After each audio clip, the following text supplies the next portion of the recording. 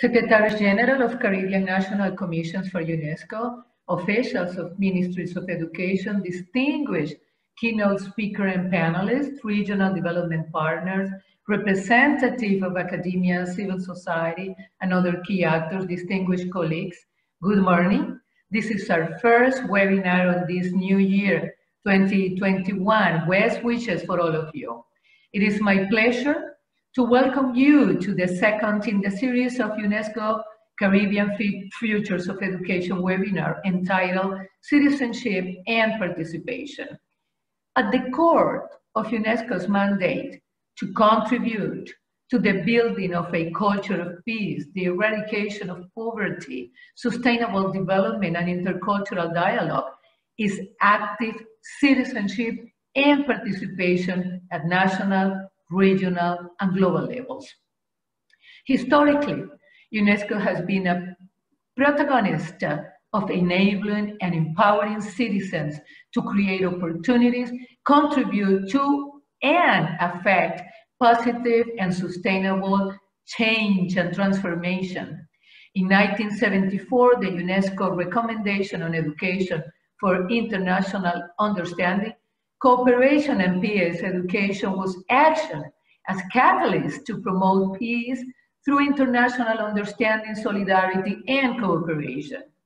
These recommendations work as a framework for formal and non-formal education based on central tenets of cultural diversity and tolerance, peace and non-violence, human rights and fundamental freedoms, and human survival and well-being. Fast forward to 2015, where 193 member states of the United Nations approved the 2030 Agenda for Sustainable Development as a roadmap towards a new paradigm of development and transformation. Specifically, Target 4.7 within SDG 4 aims to ensure that by 2030, all learners acquire the knowledge and skills needed to promote sustainable development through education. This includes, among others, gender equality, the promotion of a culture of peace and nonviolence, as well as global citizenship. UNESCO stands committed to advancing the fundamental principles of global citizenship as a sense of belonging to a broader community and share humanity, and leverages education as a chief mechanism to enable learners to all, all ages to become active well-informed, reflective citizens, and based upon principles of ethical responsibility. Citizens who are empowered to address national, transnational, and global challenges of social, political, economic, and environmental nature. Citizens with a sense of responsibility and accountability, guided by a commitment to be active drivers of change and transformation. In this regard, UNESCO congratulates the Caribbean member states for your commitment to advancing citizenship and participation, which is evident in the establishment of national and regional mechanisms which facilitate dialogue and cooperation towards a strengthened and sustainable Caribbean. Of note, was the series of global citizenship education workshops held in 2019 through cooperation with UNESCO and the Ministries of Education, Bahama, Bahamas, Belize, and the British, British Virgin Islands.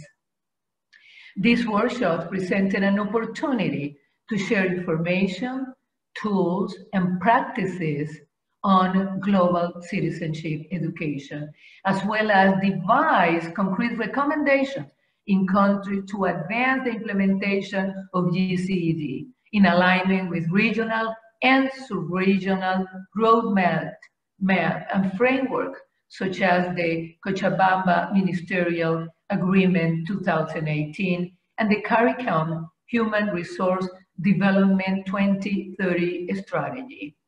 Moreover, UNESCO commends ministries of education and Caribbean development partners such as CARICOM and the Organization of Eastern Caribbean States for your valued participation in the 2020 Ed Global Education Meeting Caribbean consultation.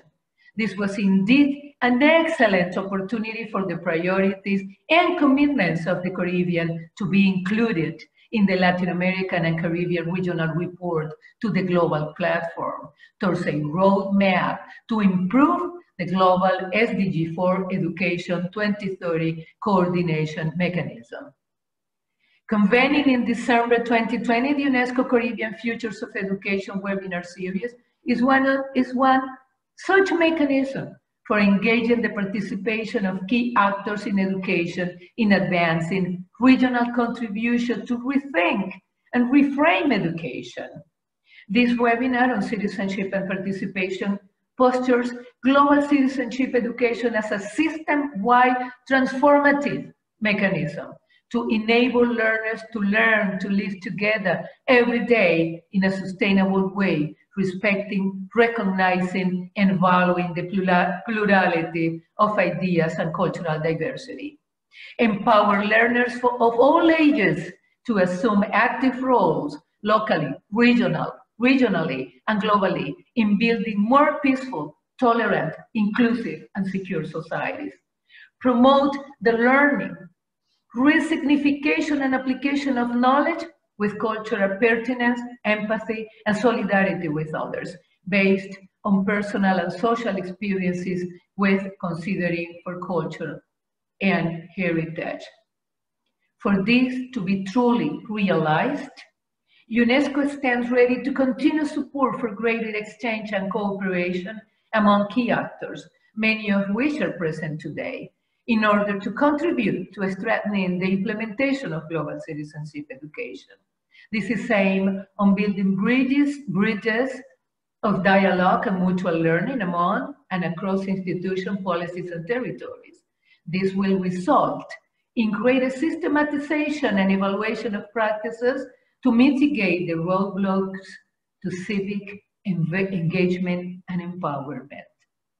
We are honored to welcome Professor Fernando Reimers, Ford Foundation Professor at Harvard University and a member of UNESCO Commission on the Futures of Education as the keynote speaker. Welcome, Professor. And the distinguished panelists and experts who have joined us today. It is anticipated that today's webinar will facilitate the levels of analysis, knowledge sharing, and perspective setting and resetting on how future education systems can foster values, skills, and attitudes in learners that enable increased and transformation citizenship and participation in the Caribbean region. Thank you. Thank you for your participation and we look forward to a stimulating discourse.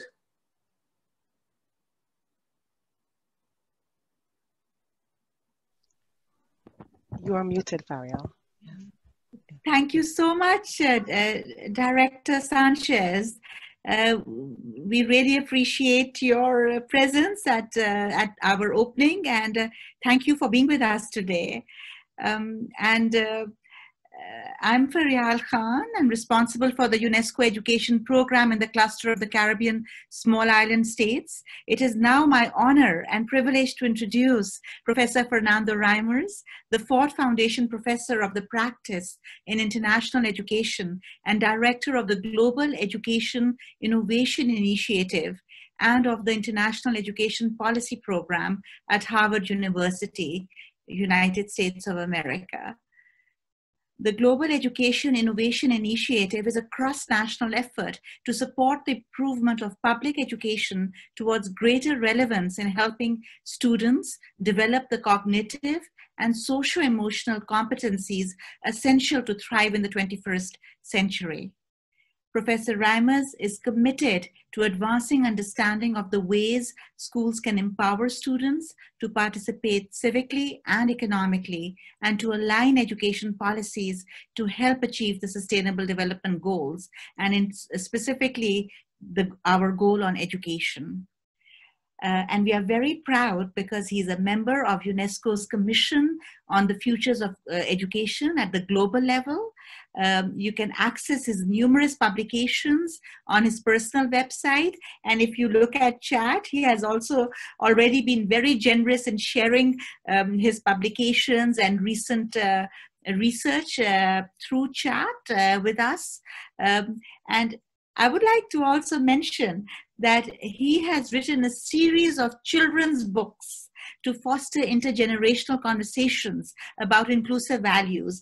And you would really you know uh, enjoy these books and also perhaps share them with uh, students in schools. Uh, professor reimers the floor is yours. We are so honored to have you here with us today as our keynote speaker. Thank you for being with us.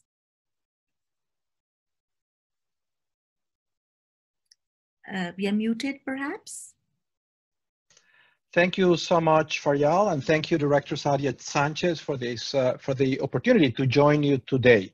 I'm going to share my screen to share a few slides that I can use to support my presentation, uh, but I have placed a number of resources on the chat, which I hope are relevant to the topic of today's conversation. Uh, can you see my slide now? There you go. Can you see, can you see the slides? All right. So let me take you back before we talk about the future to 1945, at the end of World War II, a time of terrible devastation caused by uh, the spread of an ideology that assumed that some individuals had superior rights to others, and that caused the rise of fascism and the extermination of 6 million Jews and the death of 60 million people in a war.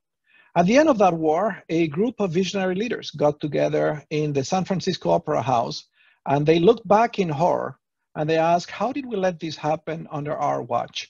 And how do we make sure that it never happens again?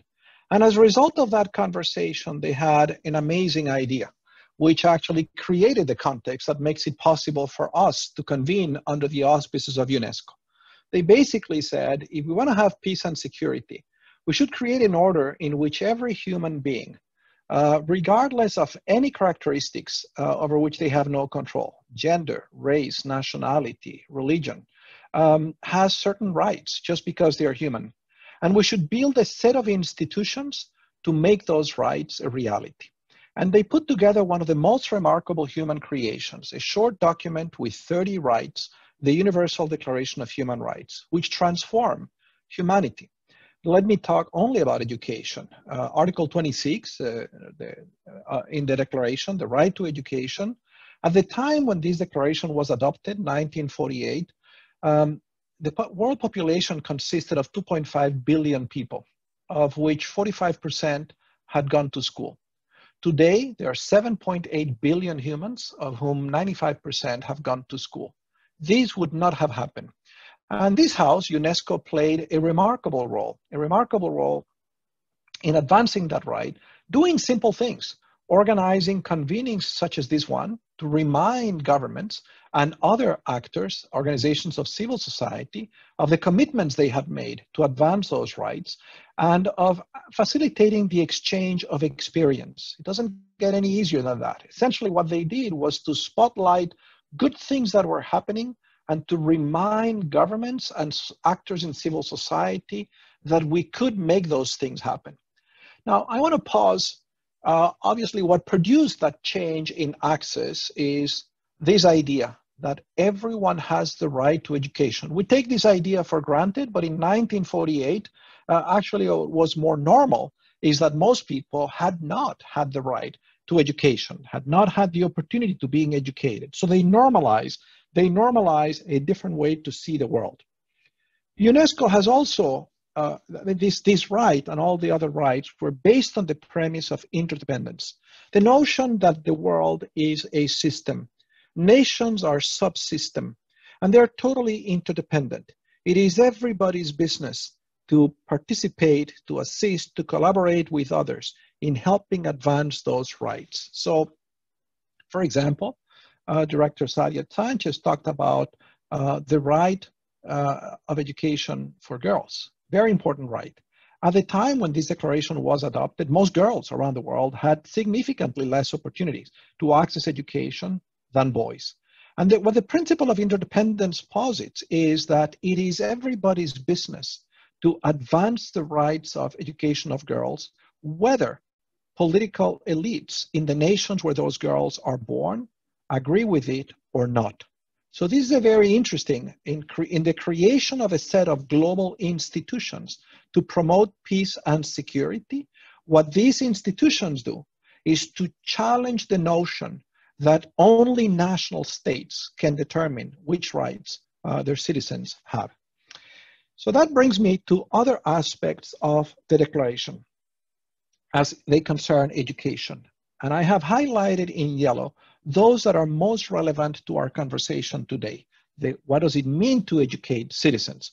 And I want to underscore that along with the idea that everyone had a right to be educated was an idea about the purpose that, edu- that education should serve. And that purpose was the full development of the human personality. It was not to teach people a few things at low cost. It was not just to teach them literacy and numeracy. It was to give the opportunity for people to develop their whole potential.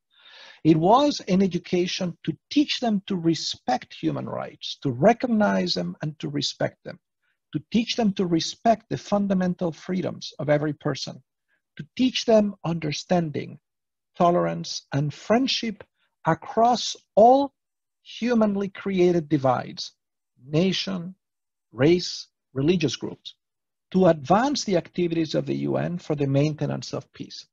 So the Declaration of Human Rights, in acknowledging that education was a right, also assumed that there was a moral purpose guiding the enterprise.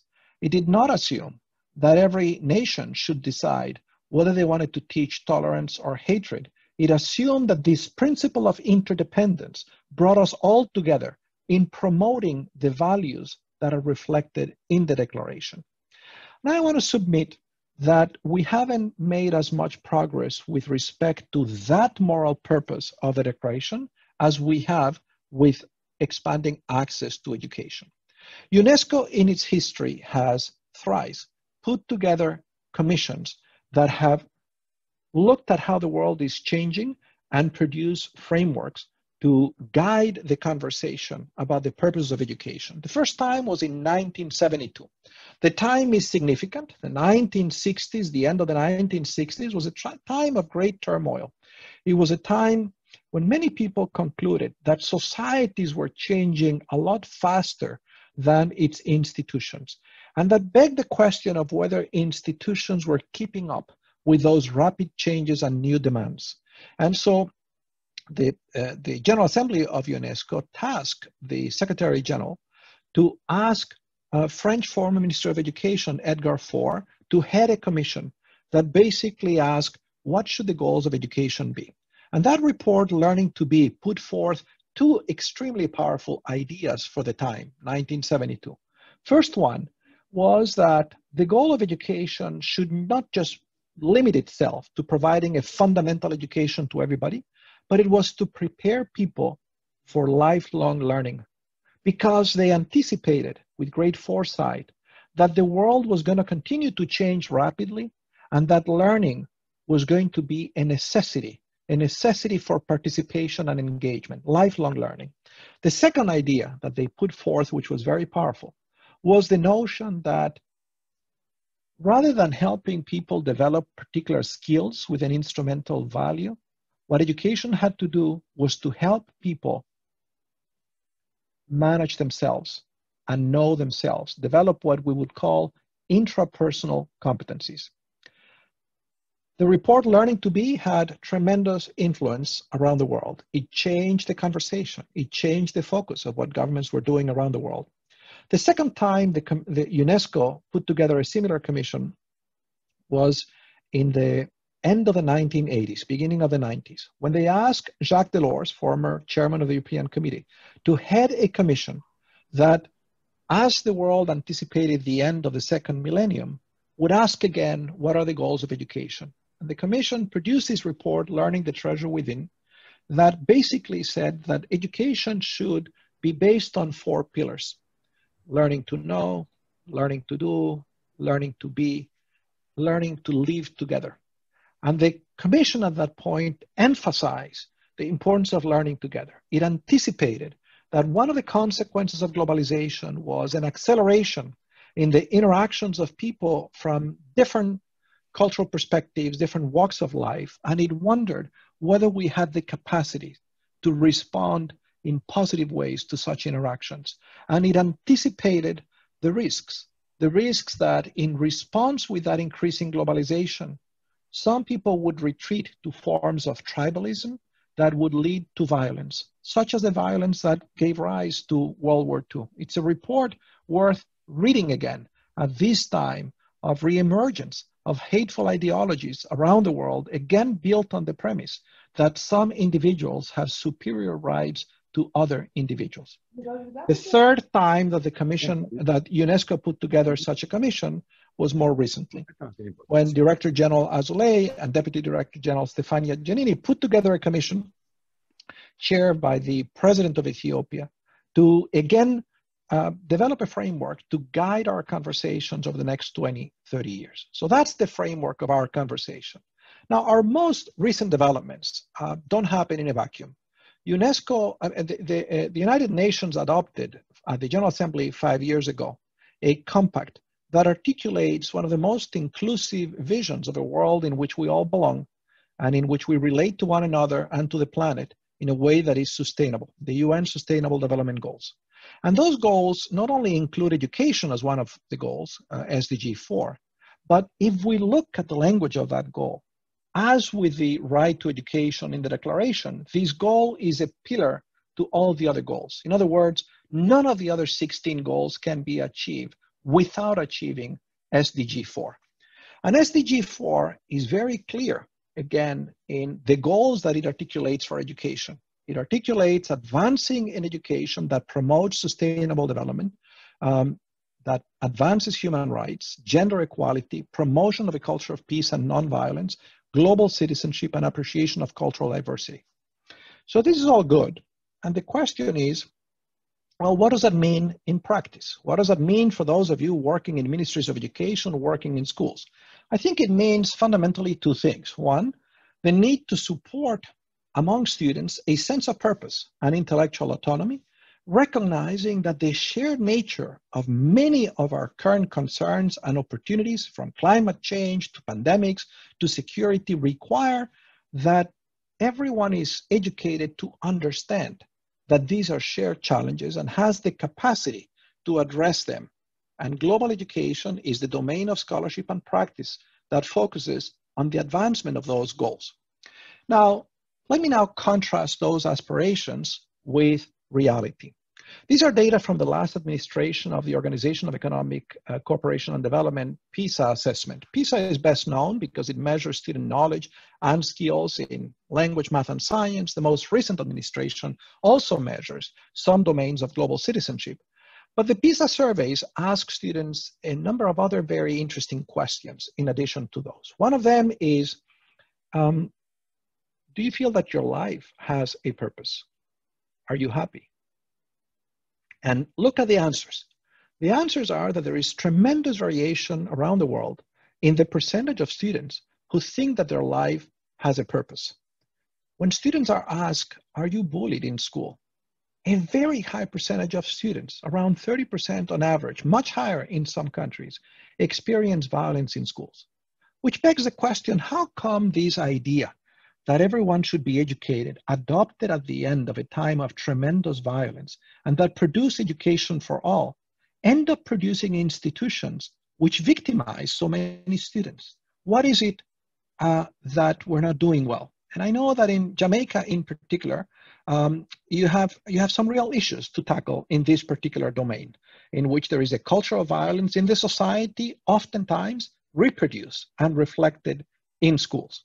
So when we talk about educating students to achieve these goals, this is part of what we need to be talking about.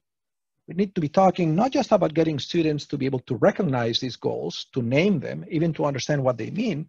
We're talking about building a culture in the school in which they can either experience a culture that respects these human rights or the opposite. And for many, it is just the opposite. Again, when students are asked, does your life have a clear purpose? What you see is great variation. About one in three students don't find a purpose for their lives. And again, we should ask, how come at the time when we have the most educated generation in human history, one third in them don't find a purpose for their lives. These are the kids in school. Now, I want to suggest that to some extent, this is related to how schools are functioning. I want to suggest that the implementation of these ideas that the UN and UNESCO in particular have advocated for seven decades, there is a very large gap between rhetoric and implementation. So again, using data collected by the OECD, uh, from surveys of representative samples of teachers around the world, when teachers are taught how they teach, the picture that emerges is that teachers are great at what we call teacher-centered teaching, transmitting knowledge. Not so good at promoting activities that make it possible for students to engage with challenging problems that require sustained effort, that require collaboration, that require negotiating differences. So for example, when teachers are asked, when you teach a lesson, do you start presenting a summary of what uh, you just taught? Most teachers do that. Um, do you set goals for instruction? Most teachers do that. Do you explain what the purpose um, of the lesson is and how it relates to previous lessons? Most teachers do that. Uh, do you explain how different topics are related? Most teachers do that. That's fantastic. But when teachers are asked, do you give your students a task that takes more than a week to complete? Look how those percentages who respond in the affirmative drops considerably. Uh, in the US, for example, only 30% of the teachers uh, provide students with assignments that require more than a week to complete. When we ask them, do you require, do you give them tasks that require that students collaborate? Similarly, a very large percentage of teachers don't do that. Do you have students uh, working groups? Very many teachers uh, don't engage their students in group works. Um, do you give them the opportunity to decide on their own how to solve problems? Again, very many teachers don't do that. Uh, do you give them extended problems? Again, very many don't do that. So I think the challenge that we have is a challenge of implementation. This recent book, which is an open access book that you can download on this link, is essentially a review of the entire history of advocacy of UNESCO in particular for what I would call deeper learning, the recommendation of 1974 and many others. And it contrasts that with evidence that we have on the extent to which those aspirations are reflected in the instructional practice in classrooms around the world. And we then look at a number of contemporary reforms that are actually succeeding uh, at, at promoting these deeper learning and 21st century reforms. So that's what I want to devote the rest of my presentation to talk about. What does it mean to implement these aspirations? Well, it means translating these goals are not self-executing.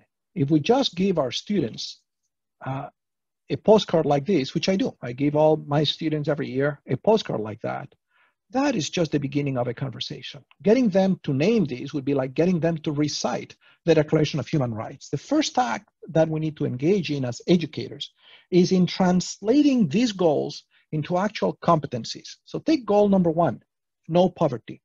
What are the capacities that a high school graduate needs to have? What do they need to care about? What do they need to be able to do so we have a world without poverty? If we take goal number five, gender equality, what is it that a high school graduate needs to know, care about, and be able to do? So we actually have gender equality. And I want to suggest that those capacities belong in three categories. Cognitive capacities, self-knowledge and self-management capacities, and relationship capacities or social-emotional capacities. Those things go together. This is not just about knowing facts or cognitive skills. It's about knowing yourself and knowing how to relate to other people, developing the capacity to do that well. So that's step number one. And of course, the curriculum is a very powerful lever to do that. A curriculum that is focused on competencies, that is focused on ambitious goals. So that's task number one. Here are three curricula which I have developed uh, with my teams aligned with the Universal Declaration of Human Rights and with the Sustainable Development Goals. And this curriculum translated in multiple languages and have been taught and are being taught in thousands of schools around the world. I have placed on the um, chat a link to a video produced by UNESCO, essentially giving in more detail, but I just want to take a moment to talk about the first one. Um, Empowering Global Citizens is a curriculum developed with these steps. Number one is begin with a clear outcome in mind. Universal Human Rights, SDGs, and from those, develop a framework of competencies that graduates need to develop to achieve those goals. Construct transformative educational experiences where students learn to develop those competencies. And that is mostly about engaging them, engaging them in project-based learning, where the emphasis is on learning as a result of reflecting on experience, as opposed to assimilating ideas that someone else shares with us. Emphasize breadth of skills, not just knowledge, but skills and attitudes. Engage students in extended projects over an entire academic year that conclude with a capstone of some consequence. Have rigor and coherence. Make sure that that activity has interdisciplinary units. That involves new knowledge. When this curriculum was developed seven years ago, there is a whole unit here on public health. The notion is you cannot function in this world if you don't understand public health. In that unit, there is a knowledge of pandemic. The understanding is you cannot you cannot function in this world if you do not understand how pandemics happen and what can be done to manage them. So there are some there's some basic understanding of public health that people need to be grounded on so that when they find themselves in a situation like the one we're in, they don't believe that wearing a mask is a sign of your uh, political expression but they understand that there are scientific reasons why wearing a mask and adopting public health measures can actually help us adjust to this serious global risk, which is a pandemic. So there is new knowledge. The goal is to foster, cultivate agency, the capacity and the desire in students to make a difference, to turn them from people who contemplate the world into people who can actually transform the world. The idea is to teach them to learn from what works, and from challenging topics, developing an innovative and entrepreneurial spirit, connecting with parents and with the community as resources, developing a breadth of skills, going back to going back to the Declaration of Human Rights, right? The full development of the of all the talents of students, not a narrow development of a subset of skills. Focus are the SDGs and human rights, making plenty of connections between global and local, engaging students in complex issues that are messy, that have no easy answers, a curriculum that is age appropriate, but that is not infantilizing. It's a curriculum that assumes that kids are fundamentally capable of engaging with complex issues and that takes students from the personal and immediate to more advanced and complex understanding. Essentially, what this curriculum does is to make visible what every educator who teaches a curriculum does, which is to test two hypotheses. The hypothesis that if my students gain these skills, the following will happen to them and to the world, and that if I engage them in these activities, they will gain these skills. But it's only the best educators who ever formally test those hypotheses, and most often in the privacy of their own head. What I am proposing to professionalize this field is to make visible this process of testing those hypotheses. Make visible a mechanism through the use of protocols, through the codification of a body of, of, of knowledge and of a language to make this knowledge not private knowledge, but professional knowledge. And so let me just take a, a moment to give you an example of how we went from this to a framework that has um, about 100 constructs. So for example, we divided this curriculum in the following categories. Intercultural competency, which includes an interpersonal, an intrapersonal, and an ethical dimension. Knowledge and skills, which belongs in the domains of economics, trade and demography, culture, politics, science, technology, innovation, public health, demography, business entrepreneurship, and then a series of work and mind habits. Let me take a moment to illustrate for interpersonal. How did we define these operationally? The student is able to recognize and weigh diverse cultural perspectives. The student can understand their own identity as well as the identities of others and how culture shapes identity and where we are in place and time. Students can work productively um, in intercultural teams, including teams that are distributed in various geographies. The student can demonstrate empathy, can put themselves in the shoes of others from different cultural origins a student can appreciate cultural variation. In other words, It's only when we can translate big abstract goals like this into learning outcomes of this level of specificity that we can begin to discern what are the educational trajectories that we can map for students so they actually gain the capacities that can help us produce a world in which these goals are reality.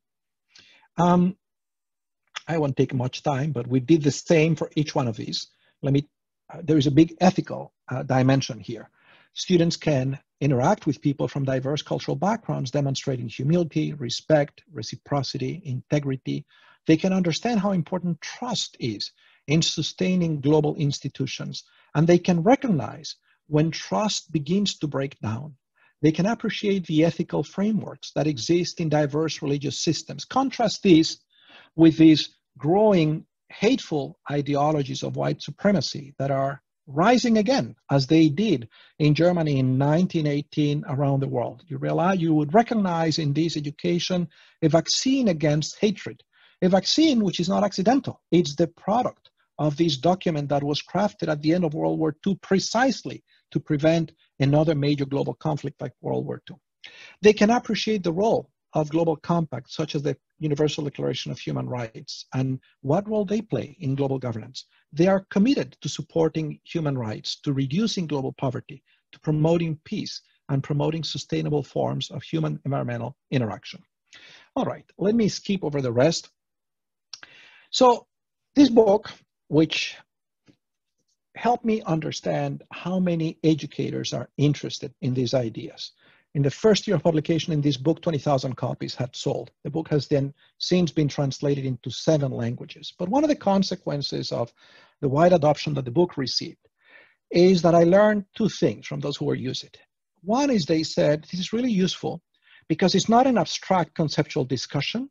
It tells us what can we do differently on Monday morning. It takes abstract ideas into a clear roadmap with lesson plans. But the second thing that I learned is how difficult it was to do this in ordinary schools, because this book proposes that we should create a course called the World Course and devote to it 10 hours a week, every week, from the first week of kindergarten till the last week of high school.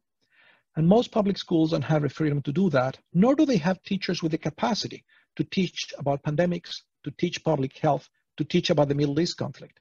And so, as a result of that, we developed a 2.0 version of that book, which is what I want to talk about. If the, the first book was basically built on the premise that curriculum could transform education. And what I learned is that yes, but not alone. Curriculum alone doesn't transform education. So the second book, this book, basically produced an improvement. What I did is I took these hundreds of lessons learned in assisting schools around the world in teaching that curriculum, and I turned that positively into an instrument that contains a simple protocol that can explain how do you go from these to curriculum, a protocol to design a school-wide strategy for global education, and an actual prototype, an example consisting of 60 lessons, five lessons per grade, that illustrate what does it mean to develop lessons aligned with the SDGs? This protocol, uh, this change management process is simple as simple is, but what I learned is that global education, if it remains the work of the solo teacher in her classroom, it is not going to transform the experience of students. And what we need is something that transforms the culture of a school. So what does this mean? Well, develop a leadership team, help them develop a long-term vision, translate that vision into a framework of knowledge, skills, and dispositions. Use that to audit the existing curriculum, build on strengths, design a prototype that would challenge the school to do better, to do more, communicate that vision, develop an implementation plan. This is what is missing in so much of the existing literature on these aspirations. Figure out who's going to do what when. Uh, identify what you need to implement that develop a simple framework that can help you keep track, help the school keep track on where you are, develop a communication strategy. What this book shows is implementation is 90% about communication. Communicate, communicate, communicate. Develop a professional development strategy, execute, evaluate, and then do it better the next year. So what this tool describes is a simple process of incremental improvement in the schools. But in providing the means to make this process visible and to make the testing of these two hypotheses, if I teach A, students will learn B, and if they learn B, the consequences for them and for the communities will be C, it makes it possible to construct improvement networks.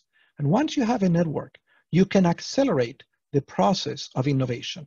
In a network of six schools, what following this process does is it makes it possible for every school to gain in a single year six years of experience.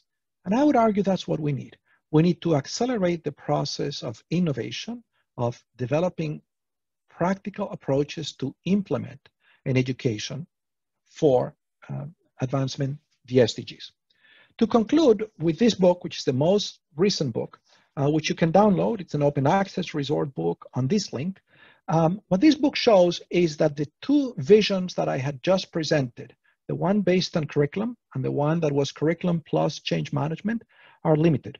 That if we want to transform systems, we need to embrace the process through a multi-perspectival approach that takes into account five dimensions. And I don't have the time to expand on each one of them, but what the book does is it synthesizes a vast literature on global citizenship education on the implementation through five lenses, a cultural perspective, a psychological perspective, a professional, institutional, and political perspective. What is a cultural perspective? The recognition that schools don't operate in a vacuum, that they, they are embedded in a culture, and that they need to communicate with that culture. Even when they challenge that culture, they need to communicate. You cannot pretend that that culture does not exist. So if you want to teach students about climate change, it's one thing to do that in a context where the surrounding community understands the reality of climate change versus doing this in a context where uh, the surrounding community believes that climate change is a hoax. It doesn't mean you don't teach it in a community where people believe it's a hoax, but it means you approach it differently. It means you have to create processes for the community uh, to develop their own understanding about what, um, what that is. A psychological perspective is about mobilizing the best knowledge that we have on how students and teachers learn and using it to design curriculum and professional development. Here are two recent books produced by the National Academy of Sciences that synthesize research of the last 30 years on how students learn. What is a professional perspective? It's one that builds the capacity of the professionals and creates the norms and the institutions and the supports so that this is not improvisational work, but it's work that is actually anchored on deep expertise. And we have to build that expertise. Um, in a recent book uh, that I have developed with my collaborators on education and climate change, I review the existing scholarship on the topic. To give you an example, in the United States, a recent survey of science teacher shows that 60% of the science teachers do not know the facts about climate change. So how can we possibly expect that they will teach about climate change when they have such need? So a professional perspective is about building that capacity so that we don't ask teachers to do that which they themselves cannot do or understand.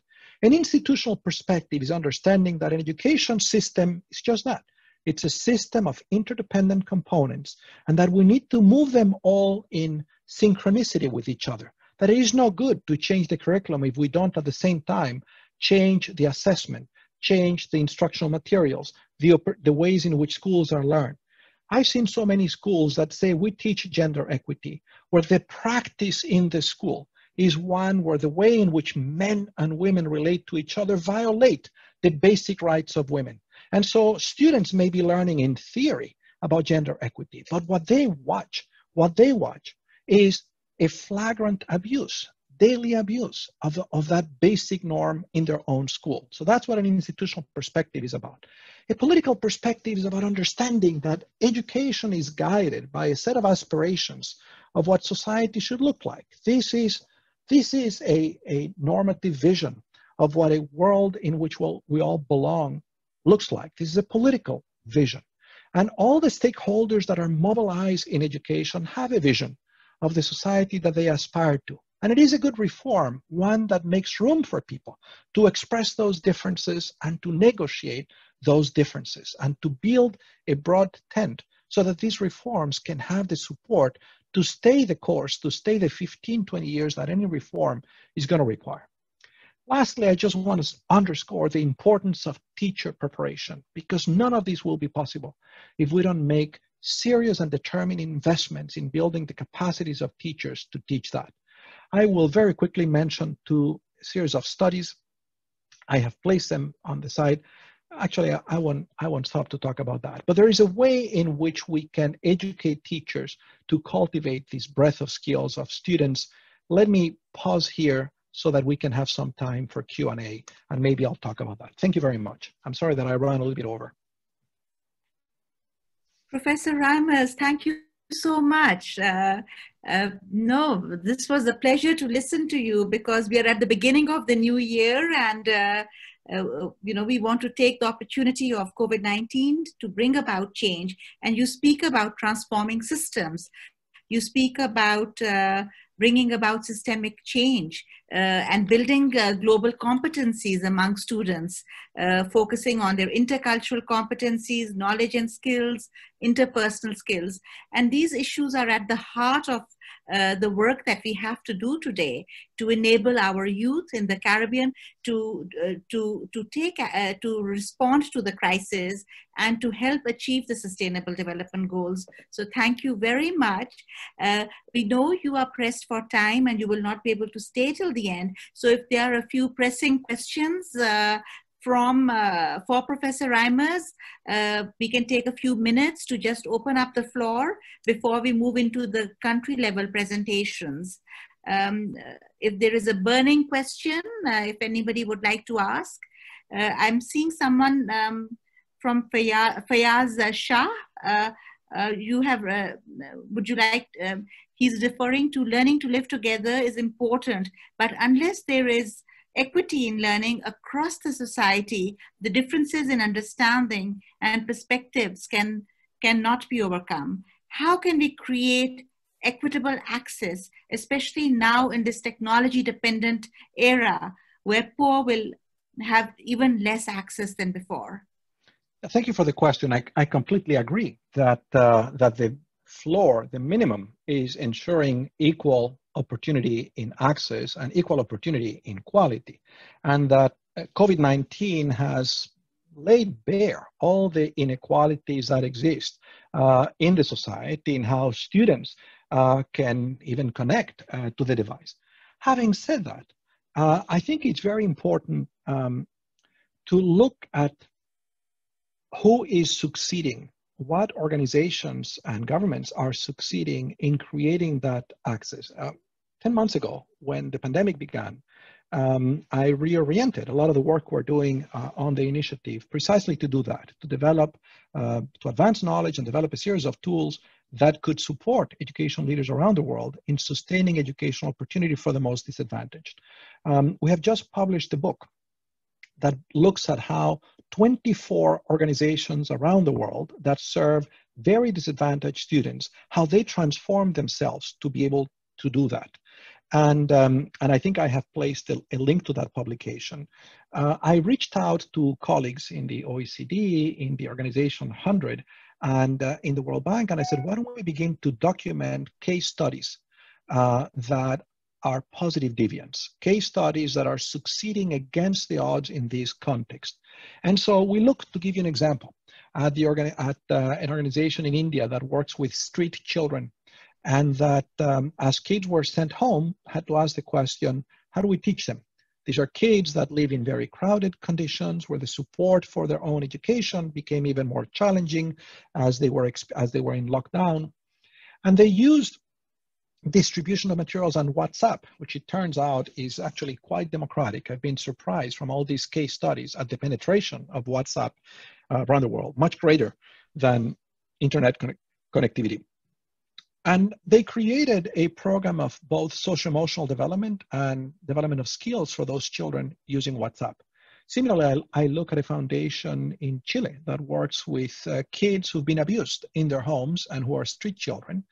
And um, and who did very similar things. They pivoted to serve those kids. Now, I'm not suggesting simply that we can wish uh, the world we want to see and that wishful thinking is going to help us overcome uh, these challenges. What I am saying is that um, our work has a reflective quality. What we choose to study and how we choose to study transforms what we're studying. And I think that if we basically looked at this pandemic and spent all of our time repeating uh, this pandemic is going to produce the greatest loss in educational opportunity that we have seen in a generation, which I have said myself. But if that's all we do, then this will be a self-fulfilling prophecy. We will give up, we will conclude nothing can be done, and it will produce the great loss.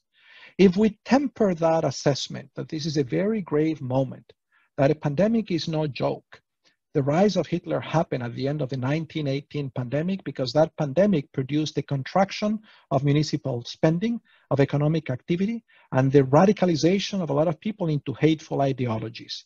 And I see the connection between that and the assault on US Congress and the rise of white supremacy in this country and around the world. And so I'm not taking a pandemic lightly, but I'm saying we need to temper our crude assessments of the severity of this moment with an appreciative inquiry stance in which we look at the goodness that exists in this world and we showcase that goodness. And we remind people that in the worst circumstances, there is hope. And this is not a hope based on wishful thinking, but it's hope based on a careful analysis of those who are building hope are actually doing. So that's my response to your good question. Thank you so much, Professor Reimers, for your inspirational words uh, and uh, for really wrapping that up. Uh, uh I mean, uh, up. so I would like to thank you, and I would like to give the floor to our uh, colleagues from the Caribbean, Latoya, to open up the discussion to look at the context within the Caribbean now. let us now, and we understand you will have to leave a bit early, Professor Reimers. So we thank you so much. Thank you. It's been a pleasure. Uh, thank you to all of you for what you're you doing. So I have just placed on the link on the chat a link to, to this book just published titled Leading Educational Change During the, a Pandemic, Reflections of Hope and Possibility, which speaks to the last question. Thank you all very much for what you do. I'm delighted to see UNESCO leading at this very difficult time. The mission of this organization has never been more important. So thank you for all of what that you do. Thank you, Professor Reimers. Thank you so much for your sharing of all documents. Thank you so much, Professor. Thank you. Thank you so much, Faryal. Um, at this time in our agenda, we want to thank all the persons who have joined us. Um, and we look forward to the continuation of this very um, constructive and thought-provoking dialogue. At this time, we'll be going into the segment that speaks to um, the representatives from the Caribbean region, our country representatives, um, who will be sharing with us um, challenges and opportunities because um, at this point um, for this Futures of Education webinar, our focus is more so about what are the, what are the possibilities, the perspectives as we move forward. So we are indeed looking forward to hearing from our um, country panelists. With us today, we have Ms. Pearline Baker, and she is representing the Ministry of Education Bahamas. Uh, Ms. Baker is currently a senior high school education officer for civics, history, and geography. Um, she has worked in education for over 26 years and served in numerous positions as teacher, subject coordinator, um, exam, uh, chief examiner, among other um, positions. She enjoys her work as an educator and she promotes, she continually promotes equal opportunities for women and children. Um, Miss Baker attended the University of Bahamas and she is ready to share with us um, the perspectives from the Ministry of Education of the Bahamas on the opportunities for strengthening citizenship and participation um, within her territory. We also have with us Miss uh, Brenda Lettsome-Tye. And um, she is also, she is representing the Ministry of Education in the British Virgin Island, particularly the Department of Culture. And she is with us as the Director for Youth. And so Miss um, Tye, she has um, a master's degree um, from the University of Victoria, British Columbia, Canada. Um, she also has been working for a number of years, 25 years, um, at different levels of education as well. Um, Ms. Tar is here to share with us um, as director for the Department of Youth Affairs and Sport. She's here to share with us her thoughts as well, representing the, the, the, British Virgin Island, her thoughts on what are the opportunities, what are the current situation in which they are working in, and more so the opportunities um, for strengthening participation, particularly among youths. So I really want to take the opportunity to welcome you, uh, Mrs. Letsom Tar, as well as to welcome Ms. Baker with us. So we will start with Ms. Baker first. Ms. Baker, over to you. Good morning. Thank you so much for having me here. Thank you. Welcome to everyone and my colleagues in the Bahamas. Uh, heartfelt thanks for being here today. So I'm going to quickly share my screen because I know we have about, what, three minutes to share a brief presentation. So let me just do that.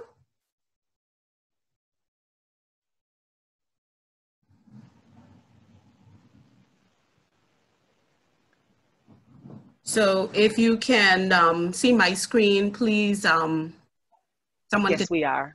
Thank okay. you. Thank you. Okay. Um, I want to share that here in the Bahamas, what we are doing is primarily focused on developing um, democratic principles in civics education. And we have done something very unique by following what is mandated by UNESCO. Um, yes. We're focusing heavily on capacity development, um, on civic engagement, and we are also looking at um, accountability, responsiveness, and participation and transparency. Um, empowerment. Um, we're hoping that this will help to foster civic disposition, knowledge, and skills, and help in building self-identity, the self-actualization, and the self-reliance. If you see my little um, cartoon character on the right, what do I identify myself as? Um, to get students to understand who they are. Um, and so we are doing this in a very intentional manner um, through our curriculum development. And if you if you see what we're doing, just give me yeah. a Thank you. Yes, mm -hmm. thank you so much. Okay. That's yes, thank you. Sorry. Um, you would see that we are in a very, very um, proactive session in the Ministry of Education where we are revising curriculum documents. We've made civics um, mandatory for all high school students.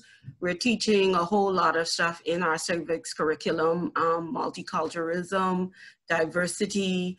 Um, we speak about issues with gender equality, respect, and we focus on respecting minority groups, particularly those who are part of the LGBTQI communities. Um, we are um, getting our students into high levels of volunteerism where we have it embedded in our national high school diploma, 40 hours of services. And within our civics curriculum, we have promoted activism, social activism, where students can be able to stand up and speak on a particular cause and stand up for something that they know um, is right to defend, particularly areas that are associated with our democratic principles. Um, we are also at the Ministry of Education, we have um, ratified a lot of documents. We are working vigorously on our Education Act, um, but in an international perspective, we ratified the status of refugees. We eliminated, um, looked at um, eliminating um, child labor, discrimination in respect of employment of all kinds and we have promoted the rights of children. We've ratified looking at child prostitution, and we've also looked at rights of persons with disabilities. And how does this um, culminate into our country framework? You see where we looked at inclusive education for students with special needs. We've provided a rigorous LMS and EMIS system where we're teaching online, but we're also doing it in an asynchronized manner where we are asking persons to produce indigenous materials. As I indicated, we have looked at revising our Education Act And we've also looked at a strategic, you know, some strategic plans with a 10-year education plan. Um, we've looked at the Vision Draft um, National Development Plan here in the Bahamas. And we are doing that so that we can make sure that students who are in our schools, particularly those who are coming out of the high schools, um, can understand what is expected of them as they go into the world as a competent citizen.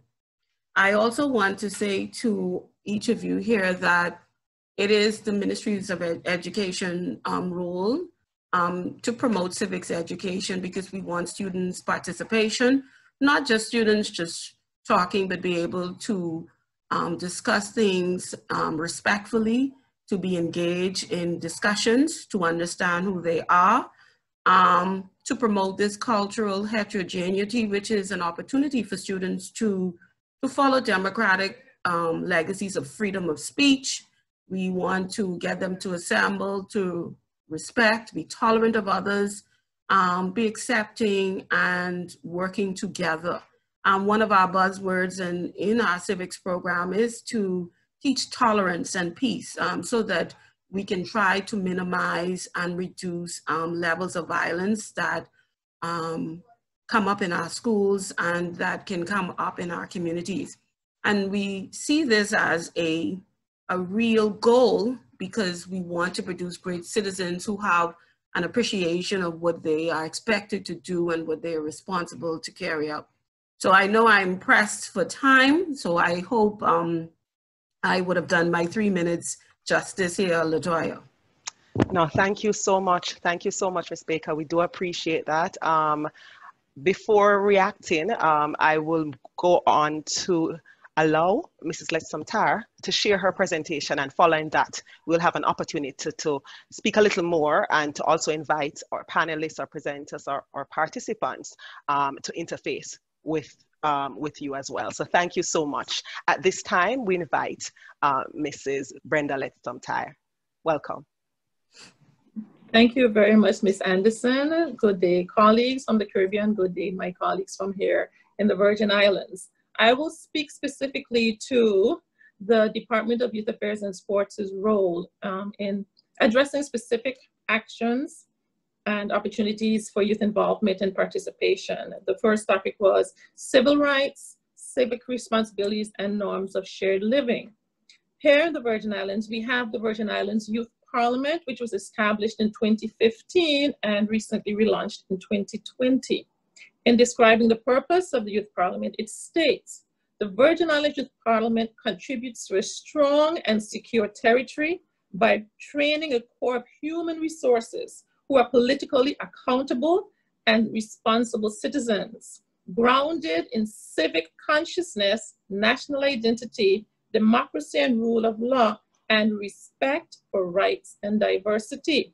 The members are strongly encouraged to engage their fellow young people in seeking their points of view on issues and concerns, which may then be brought forward as topics for debate or incorporated into their debates.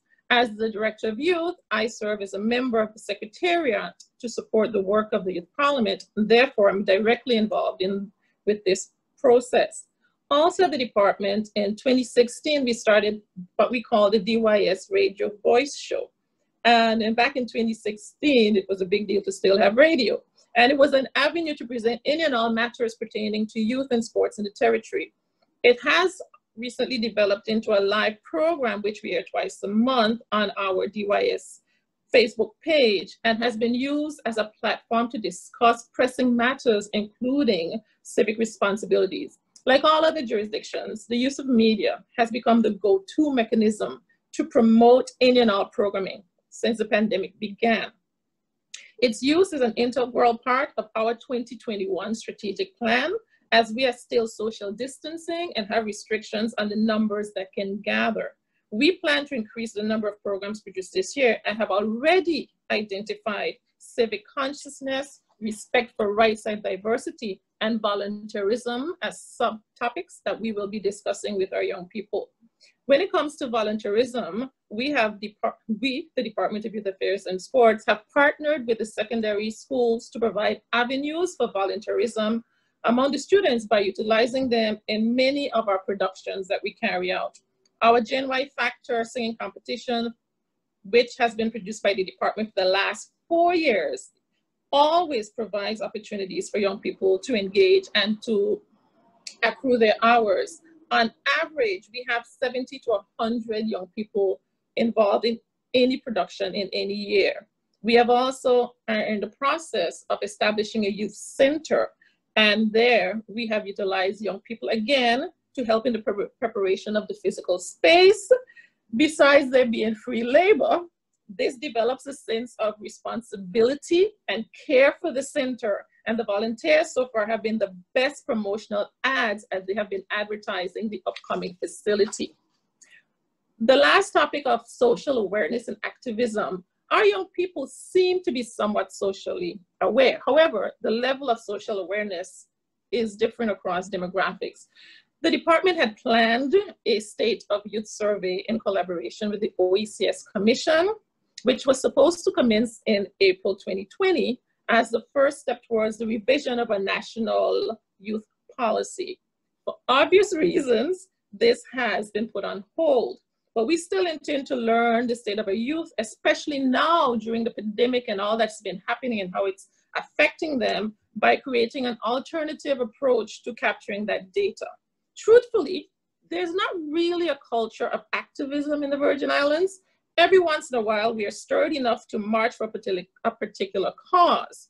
Our young people rarely get involved, or when they do, it's the same groups, you know, it's the same ones just preaching to the converted.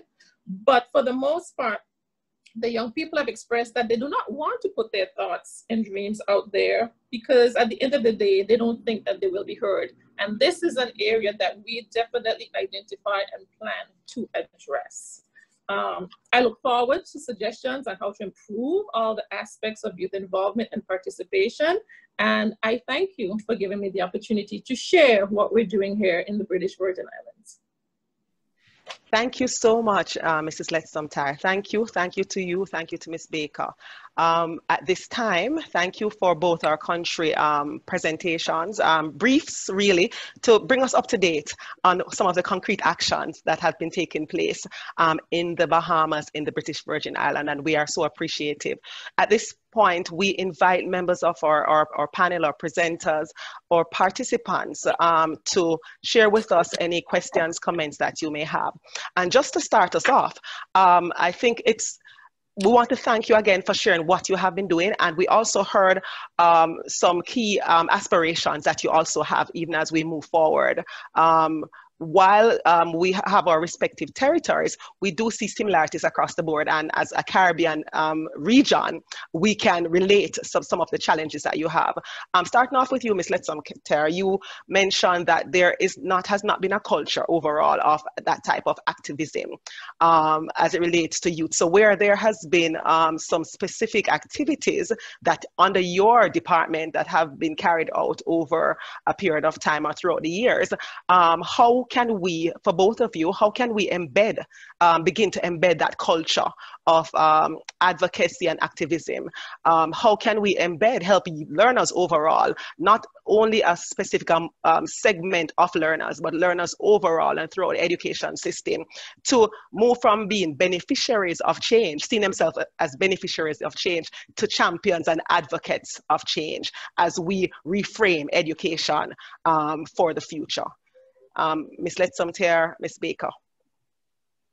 Um, Brenda, you gonna go first? sure. I was going to say it goes back to some of what our keynote speaker was saying. It was yes. it's teaching them yeah. that they have a voice. It goes back to them learning that they have a voice and their opinions matter and empowering them to share what they think. But not only that, putting the mechanisms in place that again, they not only share, they not only articulate what it is they want, but they actually have an avenue for action after they do. I think that is the part right there. They have they have opinions, yes. but they really feel that they, their opinions, not that they don't matter because they do, but they don't they don't see the bridge to action. So somehow we have to create the, the platform through which that mm-hmm. their thoughts and and and decision what what they aspire to do and be there is a platform for that to be heard and actioned upon. Thank you so much, Ms. Baker. Thank you. Um, one of the things we do is we try to get the students to to hear from them rather than us being the facilitators all the time. Um, make it more student centered. Um, one of the things that we had done intentionally, we bring in people, controversial people into the classroom. Um, people may call it controversial, but students have an appreciation. I recall in a session and training subject coordinators that we brought in a father who was fighting for the rights to have equal access to his children because you know some laws in the region favor single mothers to have access. You know they're the predominant parent so they have most of the access. And he shared his his passion as an activist. And what we said to subject coordinators go and produce this level of enthusiasm how do we do it? Get students involved. Let them look at a cause in their community. Let them look at a cause in the classroom. Let them look at a cause that they are passionate about and they want to fight for. And um, some of the things we, we do, going right back to what Professor Rama said, is we have to be very careful how we're teaching. Um, if you're looking at equality, you know that there are some religious groups that may not teach it the way we expect and still infringing on the rights of others. But we have to lay out uh, an objective perspective where we want students to be able to engage in being respectful. Look, be careful about not just what you're thinking, but just think about what this other person may be feeling, experiencing. And so our goal is to really get students involved more in the processes and get them to be engaged in such a manner that they know that their voice matters. That is just not going to be just only in the classroom, that they can be community leaders, they can be builders of, of a nation where they their voices are heard. So we we encourage that here in the Bahamas. Thank you so much. We do have a question. I see Dr. Khan. I see your mic is on. Um, so we invite you if you have a question as well or comment. Your mic is open.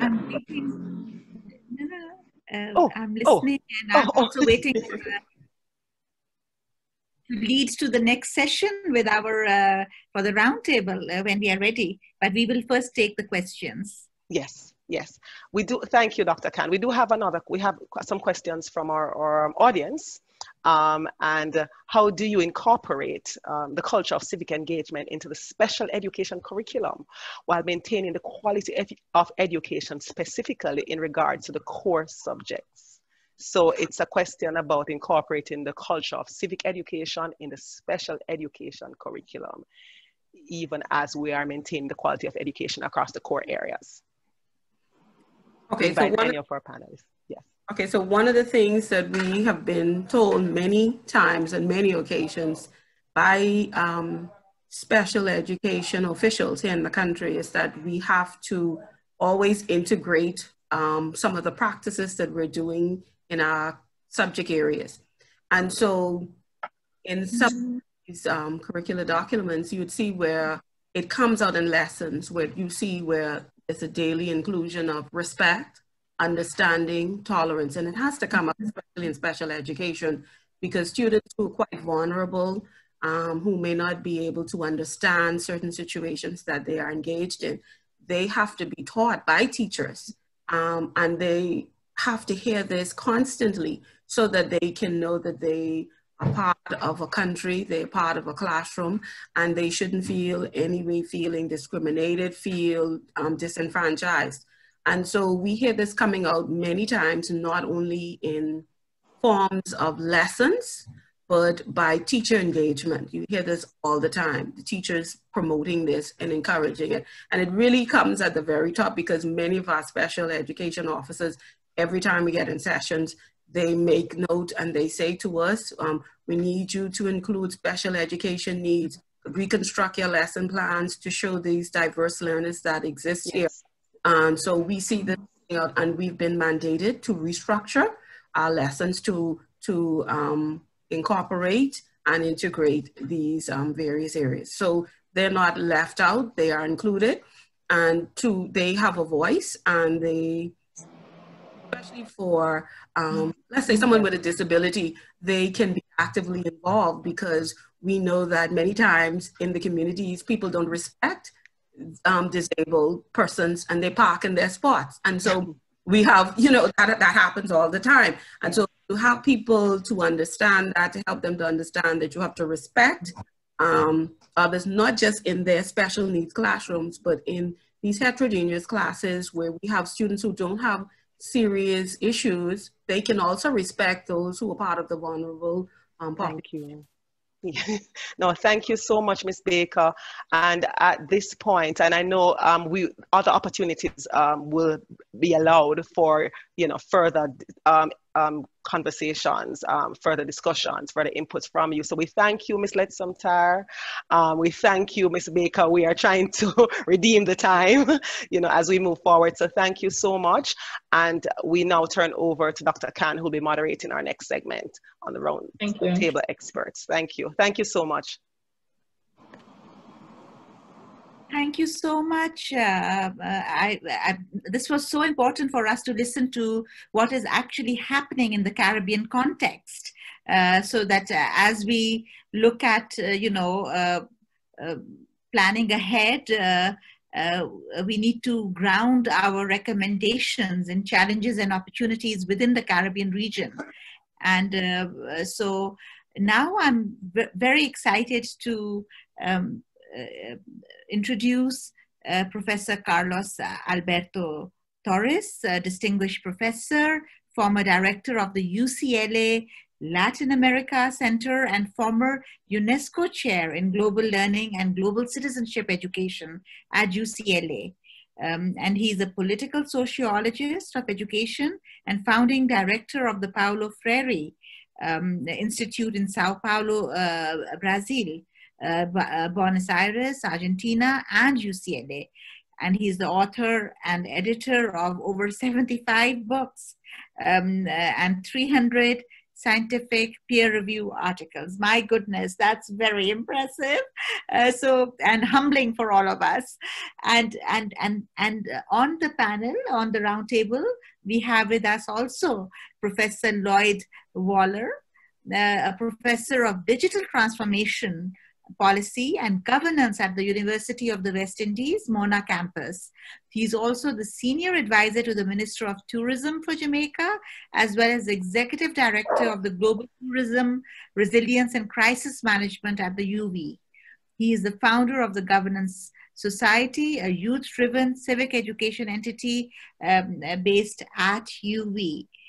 Uh, so welcome uh, to, to, Professor Lloyd Waller uh, and Professor Carlos uh, Torres. And we are also very, very delighted to have with us Vashti Mary Thompson, uh, who is a 2020 University of the Bahamas graduate in finance. and you graduated with honors, so congratulations. Um, Vashti is a National Youth Award winner in leadership and a twin sister to Vashti, who has Down syndrome.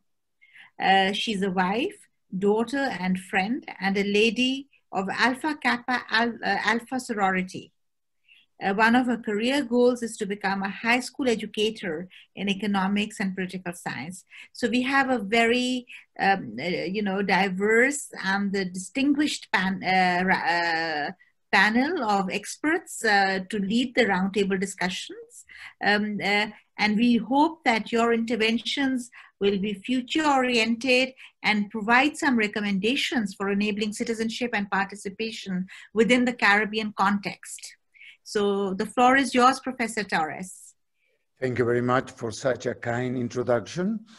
and I'd like to say Happy New Year to all of you. I feel honored for this uh, opportunity to say a few words to you in this important meeting. Um, my goal in the next five minutes is to offer a big picture of the challenges ahead of us. I think we stand uh, in the precipice of a global planetary cliff. Uh, there are two options uh, laid out in front of the humanity. On the one hand, is the continuing expansion, expansion of democracy, uh, the further extension of human rights, the idea of confronting the threats of global warming, On the other is the dismantling of democracy in lieu of populist authoritarian rules. And I'm speaking now from uh, California. I have observed an attempt of insurrection against the capital of the US, which if somebody would have said 10 days ago that that was happening, nobody will believe it, but we saw it on television. Uh, this attempt of dismantling democracy will have, have a strong uh, impact on the people who are oppressed, the people who are marginalized, people who are exploited all over the world. Uh, so we have to either accept the model of the Enlightenment and essentially uh, create a dialogue across civilizations, or will we will succumb to the power of uh, a dominant global elite that will essentially create more chaos with an uh, ideology in which multinational corporations uh, will rule the globe. Now, in addition to that, we have insular politics, the whole arguments about fake news, post-truth societies, and a recent argument was that post-truth societies are pre-fascist societies, radical tribalism, and of course, the discourse of nationalistic intolerance, and that will continue the perpetual uh, chaos and the perpetual hate. Um, about 10 years ago, Canadian philosopher James Tully spoke about the crisis of citizenship. Let me quote him. He says, the crisis is that citizens are unable to exercise effectively their civic responsibilities, looking at four main global program, problems. The ecological and climate changes crisis, the imperial problem of inequality, exploitation, and poverty in the global south, the problem of global wars and militarization, the problem of distrust and disrespect for different civilizations and people. So I agree with him completely. And in my own work, I have discussed the question of global citizenship education and the twin sister of sustainability policies. What I will propose that teachers and administrators in the Caribbean and Latin America and everywhere in the world should consider is the need of understanding that we have to promote the global commons. And for me, the global commons are based on three propositions. The first one is that our planet is our only home, and we have to protect it through a global sustainable model in which global citizenship plays a major role. We have to move from diagnosis and denunciation of global warming into action and policy implementation. The second observation is that global commons is predicated on the idea of global peace as an intangible value, an intangible cultural good of our civilizations, and is in material value. Global peace is a treasure of humanity, and we have to prevent war at any cost. Third, I will argue that global commons is predicated in the need to find ways that people who are all equal manage to live together democratically in an ever growing diverse world, seeking to fulfill their individual and cultural interests and achieving their inalienable rights to life, liberty, and the pursuit of happiness. In a big picture, this is the task ahead of, ahead of us, and I thank you all for your attention. Thank you so much, Professor Torres, for your giving us this broad uh, overview of what are some of the current issues that we have to grapple with. But we also, as we look not to 2030, but 2050, what are some of the issues we need to keep on our radar screens as we plan ahead for the future of education. And um, thank you very much uh, for sharing these thoughts. And we, we will engage further during the question and answer session uh, as we get our questions from our uh, participants. Uh, Professor Wallace, the floor is yours. Thank you very much. I will be sharing um, a little slide that I just um, wrapped up. Um, can I get permission to share? Uh, in principle, you should be able to share your screen. Yes. Okay, yes, I am sharing right now. Thank you very much. We're more than five minutes now. Um, so, so empirical evidence has indeed indicated that there is a substantive um, link between um, an educated citizenry and uh, a strong democracy. And, and this has been recognized as a crucial or fundamental for the development of um, countries, especially small and developing states. Um, the, the democracies usually depend on citizens who are aware of um, the different aspects of the democratic system, the different aspects of the social and political and economic life. Um, to be quite frank, if anybody questioned the literature, the, the occurrences in the United States leading up to the insurrection, as well as the activities during the insurrection and after, particularly those scenes that um, demonstrated uh, the level of awareness um, of the citizenry uh, in the United States, specifically those persons who um, participated in that particular act um, indicated that it is very important and fundamental for us to, to, to, to, to raise the awareness and increase the capacities of citizens to be able to, or citizens of a country to be able to have an understanding and determine what is a, what are, what are activities that will encourage development and democracy. In other words, we're trying to create what, what I usually refer to as a good citizen, even though the conversation about good citizens um, is often questionable. Now, um, they, there are many different strategies that exist as it relates to creating a good citizen. The, the one of the most popular and substantive one has been citizen education programs. This is raising awareness about different aspects of economic, social, and political life and how it impacts on um, the citizens themselves, um, persons who they engage with, the governments, institutions, and the society. The, the challenge in Jamaica, however, is that we have not had a any form of formal civic education program either at the macro level um, from a government standpoint uh, or even at the high school level.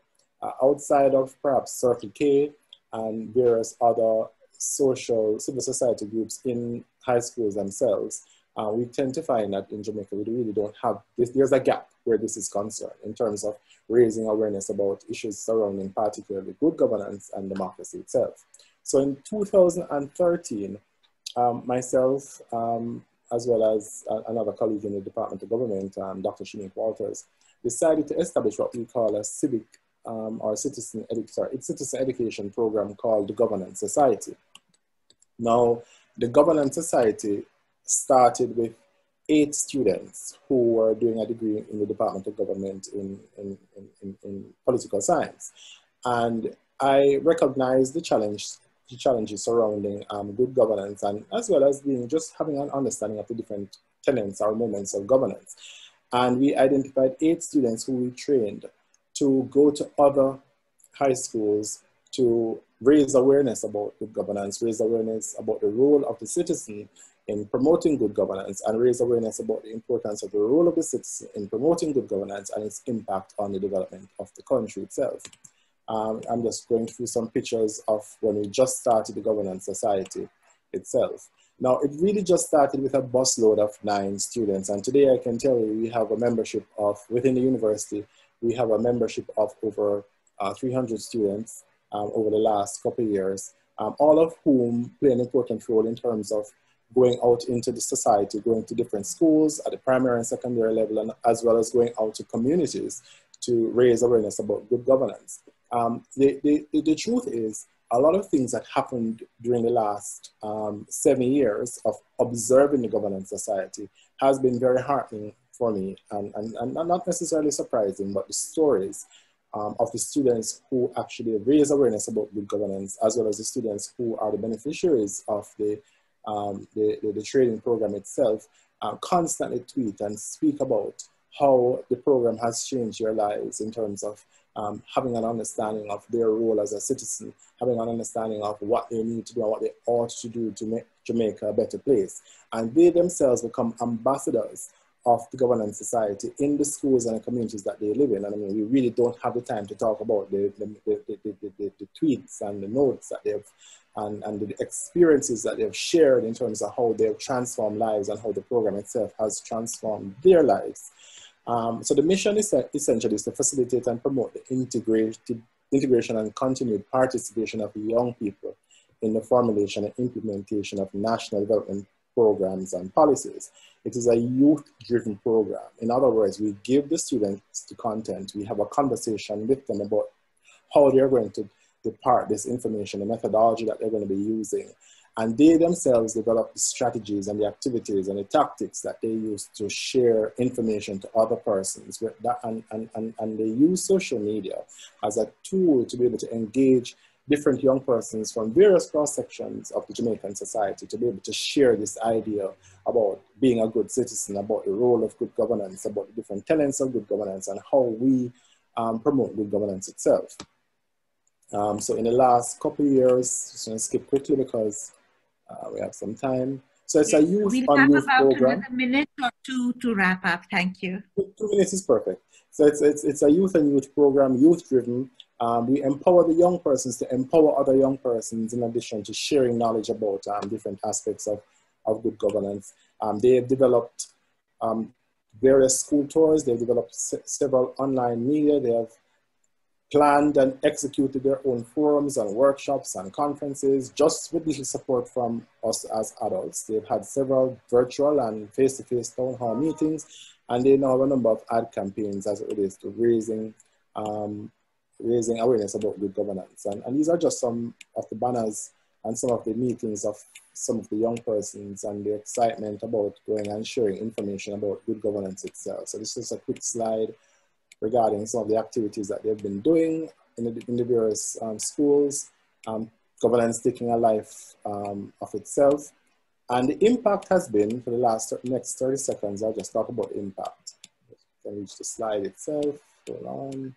It's a very long slide. But it just gives an idea what, what we've been um, essentially doing. But the impact itself, and is my last slide, um, is that at individual level, we've recognized that it has actually built the confidence of the young persons who have been going out into the school. You know, interesting, when we take them, they're very shy, they're very meek, um, and they get a sense of self and purpose. It also develops their leadership skills. Most of the persons in the governance society, uh, and I've observed in the last um, five years, are in positions of leadership at other institutions that they're working. They're advocates they, they participate significantly. They're very engaging and engage democratic related issues and their work ethic is phenomenal. I mean, they, they, when you see the, the product that comes from how they themselves have helped to transform themselves through information and awareness and an understanding of, of, of, of what it takes to be a good citizen. At the societal level, they've established a number of governance society networks globally. Um, they've transferred the knowledge at, in, at the home level and sometimes at the community level, and there's continued dialogue and deliberation among them online, on social media, and face-to-face -face about good governance. And just to wrap up to say that in the last year, we've pivoted a little bit to, um, to, to include information about uh, COVID protocols as it relates to mask wearing, social distancing, and, and, and, and, and, washing hands. And that has also been significant because we play, we're playing our role in terms of ensuring that citizens understand that they need to be, these are the things that they need to be, they need to be doing to be a good citizen during this period of COVID. Thank you. Thank you so much, uh, Professor Waller, for sharing an excellent example uh, where you have been able to inculcate values uh, and skills for active citizenship amongst youth. Uh, and, and we can learn some important lessons from this experience. Uh, and we have with us now our youth representative. Uh, and, uh, and I would like to request uh, our, our panelists as, as well as our participants, if we could have an, an extra 20 minutes to wrap up because we've had a very rich discussion and it would be wonderful if we can if we, if you can be with us for another 20 minutes, uh, uh, that would be wonderful. So, the, uh, Ms. Uh, Vashti, the floor is yours. Thompson, Ms. Vashti Thompson. Yes, welcome. I will be sharing my perspective on three topics in particular. The first topic that I'll be tackling is Caribbean states and their curricula as it pertains to civil rights civic responsibilities, and norms of shared living. For as far as I can remember, the curricula for the three major levels of my education, which would be primary, secondary, and tertiary, focused primarily on history and historic events. Through these events, we learned about ways our predecessors fought for their rights and the many things today that would have been considered luxuries in their time, such as females being able to vote and racial integration, among other things. The current curricula seek to educate students by providing them with real life examples of past occurrences. But I believe that the most beneficial method of informing students is by giving them in-depth teachings about their rights and responsibilities while using history as a supplemental source.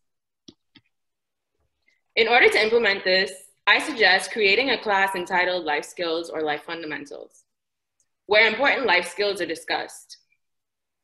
CARICOM and UNICEF recently presented a curriculum framework for national school-based health education among CARICOM countries, which seeks to do the similar thing, but it encompasses sex education, relationship management, etc. For example, in this proposed life skills class, seasoned voters will be able to assist in the facilitation of the electoral process for first-time voters, these facilitators will not only educate youth about the voting process, but they'll also help them step by step to register, encourage forward thinking when it comes to innovating our region, and emphasize the importance of casting your vote. Major successes have been recorded in the US where Stacey Abrams, voting rights activist, educated voters, and subsequently boosted voter turnout tremendously, leading to Democratic control of the Senate. I firmly believe that the more informed a person is about his or her rights, the more beneficial that they are to a developing society. As it pertains to civic responsibility, the basic principles are taught. We follow the law, we pay taxes, we go to church on Sundays, we vote, and we give to charity or volunteer. However, I do believe that in addition to the electoral process, the life skills class can educate the youth about civic responsibilities that are not as commonly discussed such as conflict resolution and various decision-making processes. In this life skills class, core principles such as the building and the utilization of credit and management of finances should also be discussed. I believe that the implementation of a life skills class would be quite beneficial. The second topic that I'll be covering is Caribbean states and voluntarism in their education systems. Voluntarism is commonly seen among the youth in the Caribbean. Whether the reason is publicity, goodwill, or it just being mandatory, it is done. In a majority of our schools, students are required to complete a predetermined um, amount of community service hours in order to fulfill graduation requirements. Usually the schools have volunteer lists, which list partners and eligible places to volunteer. This ensures that volunteerism is actually being done and that it is being done at a reputable place. The effects of making such activities mandatory in secondary and tertiary level education, in my opinion, can be more detrimental than beneficial. The benefit is that community work is being done and young people are being exposed to civic responsibility, but the detrimental part is that people can lack genuineness, which is worse than not helping, in my opinion. If I'm forced to do something compared to deciding to do it on my own free will, the result will not be the same. To encourage full engagement, I believe that community service should be implemented in all levels of curriculum, starting at primary levels. The earlier we learn of the importance of giving back, the more serious we would take activities such as volunteerism, compared to being introduced to it as a requirement in latter, latter levels of education. The third and final topic I'll be covering is technology and how it is used to promote social awareness. I consider technology as one of the biggest blessings, yet one of the biggest curses too. My generation and the generations to follow have unlimited access to technology. It takes virtually nothing to broadcast opinions and form movements or join existing ones. This is all because of the ease of access we have due to technology. Tweeting is done in real time and pictures are uploaded in seconds. This allows people to follow their favorite accounts and constantly see information, pictures, videos, etc. All it takes is one trending hashtag or one major story to steal the attention of many. One of, the no one of the most notable ways of the use of technology for social awareness is the Black Lives Matter movement. People post selfies, quotes, poems, art pieces, and add the hashtag to show the world what they're doing to support the issue. The benefit of the use of social media is the ease of access to millions of users, social media reach, and greater awareness to social issues. The downfall of technology to social awareness is the cancel culture that is commonly seen. This is essentially the rejection of an individual or idea based on misconceptions. Hypersensitivity is on a rise as more people use technology and voice their opinions. And it leads to the opposite of the ultimate purpose sometimes, where ignorance is more rampant. An example of this would be the White Lives Matter movement and the Blue Lives Matter movement that were made to deflect from the long-standing issue of racism and injustice in the United States. For the most part, young people express their individual views on their pages and advocate for their associated causes. Overall, in my opinion, the curriculum of the Bahamas and fellow Caribbean states should be revamped to include more real life skills coupled with academia instead of pure academia on its own. It will help to equip youth better for their life in the real world. As it relates to volunteerism in school systems, I believe that it, should start as early as possible to emphasize the overall importance of our responsibilities as citizens. After all, if it is that important, there is a need for it to be practiced from early on. Finally, as it relates to technology and social issues, the unlimited access and ease of freedom of speech make social media the perfect platform for social awareness. The issue in using social media is the fact that everyone wants to be heard too. And it can be quite problematic where everyone wants to be heard, but their, differ, their opinions differ greatly. I firmly believe that social media should be used carefully. Thank you so much for this opportunity. Thank you so much, uh, Vashti. And, uh, you know, uh, you shared a very concrete, uh, you made a very concrete recommendation on having a life skills class. You spoke with us about the perils and risks of volunteerism and the need for full engagement and authentic, uh, in, uh, you know, an authentic experience in giving back. And, and last, you shared with us uh, how the new technologies and uh, social media are transforming the landscape and how they can be harnessed uh, for uh, enabling citizenship. But then also you discuss some of the perils again and the risks uh, with it. So uh, no, this is very, this has been very, very interesting. And, uh, and I see that amongst the um, participants, please, we are going to open up the floor for discussion. For uh, We'll take one or two burning questions uh, before we wrap up with um, uh, some concluding remarks from my colleague Romina uh, Kasman from the UNESCO Chile office, who's going to then uh, tie up and synthesis of the recommendations uh, as we look ahead and plan for the future. But I do see that um, uh, there is a there is a consensus um, and civics. Uh, and one of the comments from Bevel Clark it says that civic education is a great way of enabling students to foster tolerance, respect, and a greater appreciation for others. And in the broader context, it prepares people to better advance themselves as global citizenships, uh, as, glo as global citizens. So, um, so I, I see that uh, they are uh, agreeing with what you have just said. And um, if there are any other questions for our distinguished panelists, the floor is open for discussion. And if you don't have any additional questions, I would like to uh, give the floor for a minute or two to each of the uh, distinguished panelists if they would just like to share some parting thoughts, um, you know, uh, one key recommendation that you would make, like to make uh, based on our dialogue today uh, as we plan ahead and think and th think ahead uh, to enable citizenship education. Professor Carlos, um, would you like to make a recommend, a very quick recommendation, but uh, you know, for us to keep in our mind? Thank you very much.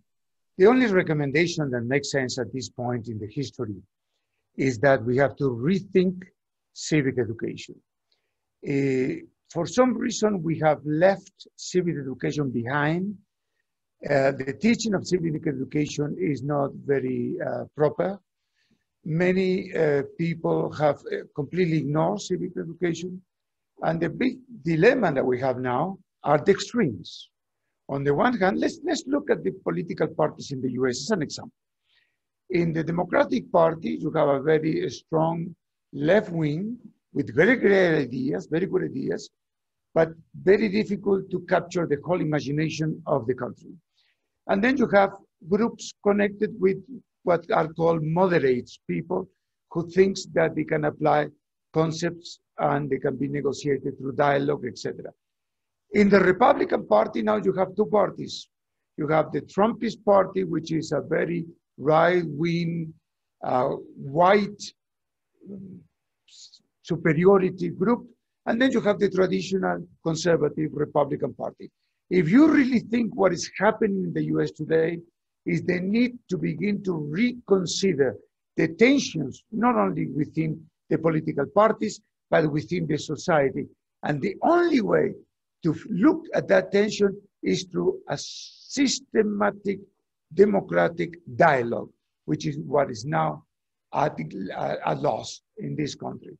So what we need to do is to reclaim the question of civic culture and civic education through systematic dialogue, which will construct, which will build what I call a dialogical democracy, which is the only solution to this incredible crisis we are living today.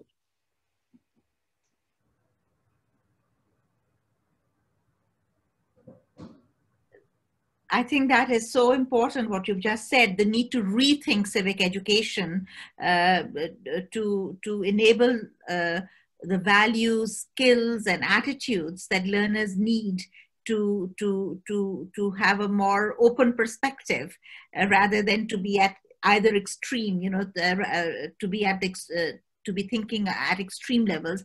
There is a question, and uh, if I may pose it to the panelists, uh, uh, Professor Waller or Vashti, uh, from Tyrone Brown, how do we ignite passion of students surrounding social issues faced by their communities, especially on issues such as domestic violence, child abuse, etc. Uh, any comments? Uh, would you like? To, would any panelists like to take it? Uh, I can Professor take it. Um, I think that is to educate students. So if students know that, you know, you should not be doing this or this should not be happening, then they will know. I think the fact that there is a an overall lack of education surrounding these issues and that they're so hush hush, that makes them such big issues. So I think that as long as they are confronted and as long as we have classes that are able to assist us with coping or counseling, then I believe that we'll be able to mitigate this problem. Thank you. Thank you. Professor Waller, the last word is yours for this ah, roundtable okay. well, discussion. Well, you know, I, will pick up a little um, before, little where um, Professor Torres left off. I, I think this rethinking of um, citizen education has to do with an integrated, integrated and collaborative approach. Um, generally speaking, and I'm speaking specifically thinking about the Caribbean, when you look at this citizen education program, or more so the civic education program that they've had, it's usually been government driven. Um, I think there's an important space and place for a civil society and the, the private sector to work along with the government in the establishment of mechanisms and systems that can encourage um, activities and practices surrounding uh, being a good citizen, uh, uh, especially as it relates to the agenda. So we, we need to start to think about what are the things, first of all, what are the things that are needed to create a good citizen? What, what, what, what, what, what, what is the role of each person? What's the role of the high school? What's the role of the primary school? What's the role of, of, of um, civil society? What's the role of the private sector? What's the role of the international development partners? And then what's the role of the university? I think, I think a, a kind of integrative framework will need to be established so that people can um, have a better understanding of how we can work together to infuse and you know um, expand this national system of innovation um, that encourages the development of a country. Thank you so much. And, and with these words, we, we come to our last closing session. Uh, uh, I'm delighted to have with us our, uh, I, I, take the, I thank our distinguished panelists for the roundtable to, uh, and thank you very much for sharing your thoughts, your, and, and uh, sharing the evidence but also giving us a broader perspective, but then also very concrete examples on what we can do uh, as we plan ahead. So uh, thank you very much uh, uh to our distinguished specialists. And uh, I, we have with us our colleague, Romina Kasman. Uh, Romina, are you with us? Yes, I'm here, Faryal. Thank you so much. Can you listen me well? It's okay? Yes, yes. And and now we would like to give the floor to you. We have a few minutes to wrap up this very uh, inspiring dialogue, but also with a lot of uh, very rich messages and uh, and food for thought to rethink civic education, to transform education systems, uh, to uh, and uh, so what the floor is yours, and we look forward to your final conclude, uh, concluding remarks as we close today's webinar. Thank you, Faryal, and all the colleagues from Kingston office, Director Latoya, Lucette, and also it's a privilege to be here with such panelists, uh, people that I that I know, people that I don't know, but I, I was delighted. For me, and I, I'm, I'm sure that for all the participants, this was a, learn, a, a, a journey of learning. I think we learned a lot today and a learning that was contextualized with the realities of the Caribbean, the present, the future, um, a learning that is a, a learning to think about the development of the Caribbean. And the development of the Caribbean cannot take place without its people. And, and this is very important because it's the value of the 2030 uh, Agenda for Sustainable Development people is at the center. All of us, we are subjects of rights, of human rights and fundamental freedoms, but we are also at the center uh, because we are agents of change. And target 4.7, the target that has to do with global citizenship education, with education for sustainable development, is the target, is the humanistic goal of education. And that is why it's so important to, uh, to address this, because it's the target that um, puts uh, say, puts the conditions for, for, all, of, for all of us. And, and I like what, what Mr. Waller, Dr. Waller also said, that every one of us play a role in this. Even, even though each SDG is a fundamental uh, obligation of, eh, of member states, of the governments, all of us, civil society, academia, every, everyone, students, families, teachers, everybody plays a role in advancing the right to quality, inclusive, and equitable education. And I think this is, this is something that Dr. Reimers says in the beginning. He started with the right to education, because if we don't have the right to education, and, and also I, I can get to the different presentations and and uh, also what um, Dr. Uh, Carlos Torres says in the contextualization, you know, we have options as a humanity. We can go, we can continue going towards human rights, democracy, or we can come back to more inequality, we can come back to less democracy, and we, and we can come back to more authoritarianism. So I think we, we are in a key moment in the humanity, in the moment of rethinking the humanity, and we cannot think about global citizenship education if we don't think in rights and freedom, the integrality of the human rights that is proposed by the 2030 the 2030 agenda for sustainable development and then the um, the uh, 2030 education agenda and the SDG uh, 4 so the the right to education. I also saw a journey and I also before this um, this uh, this present this meeting I congratulated Faryal and all the team for the organization of the agenda.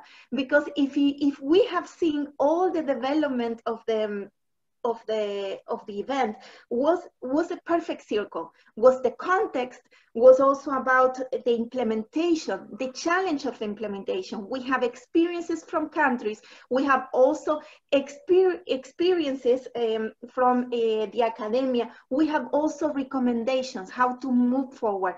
So so i think the the, the agenda was beautifully put together and brought us not only the recommendations but also the foundations to think those recommendations through in a contextualize because it's again it's very important to contextualize all the challenges that not only the Caribbean I may say all the region and all the world has regarding um, regarding this topic. I I want also, and finally, because uh, we're, we're going short of uh, time, I think it's very important the role of youth. First of all, sorry, the role of teachers, and the emphasis when we talk about the implementation, the role of the teachers and the, and the need to continue strengthening. And if there are teachers here, we're all very grateful uh, to them and to the education workers, all that have made a lot of efforts to ensure the continuity of, uh, of education. So it's, it's important to continue working in the professionalization of teachers and also in creating opportunities for their protagonism in the design of, of, uh, of the educational policies, the curriculum, etc. Not just putting the, the classes. They they are they they, they can they they need to have a, a more protagonist uh, role. Same with the families and same with the students. And i will um, i will point out all all the interventions that emphasize on youth.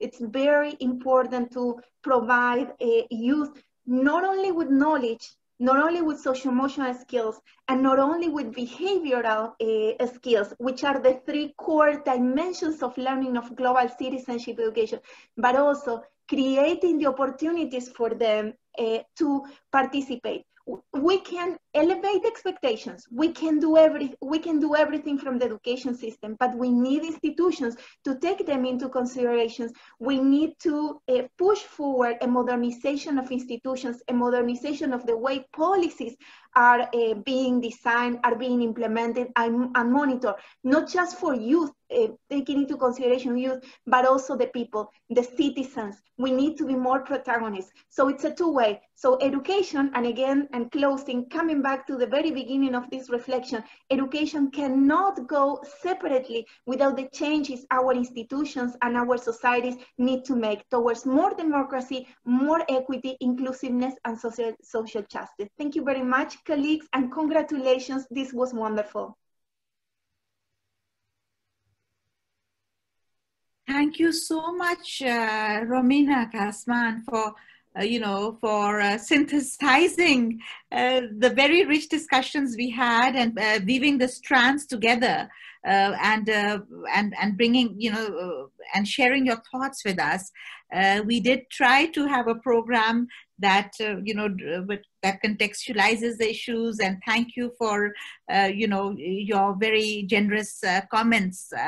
I take this opportunity to thank our distinguished panelists our uh, youth representative, uh, our keynote speaker, uh, Professor Reimers, uh, Professor Carlos Torres, Professor Waller, our country representatives from uh, British Virgin Islands, from the Bahamas, because without, and, and also our participants uh, who have been sharing questions with us, because it is, you know, this is not an easy topic.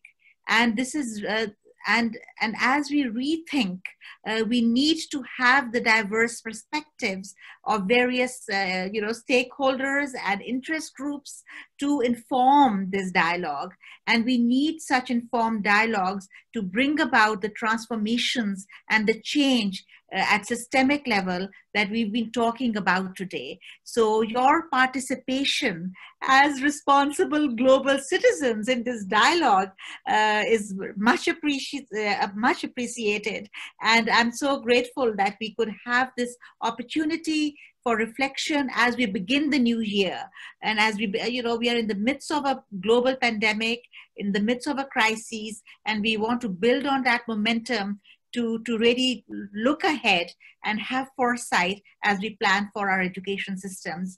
So thank you very much for your insightful comments. I take this opportunity to thank our director, Saadia Sanchez, for her unwavering support to our program and for her, and for her words uh, to welcome us all. Um, my colleague Latoya Spivey Anderson, uh, uh, uh, Ms. Lucette Monto Montgomery, Katharina Schonhammer, David Jenkins, all our colleagues who have been so supportive. And I would like to conclude this session with the words of the Dalai Lama.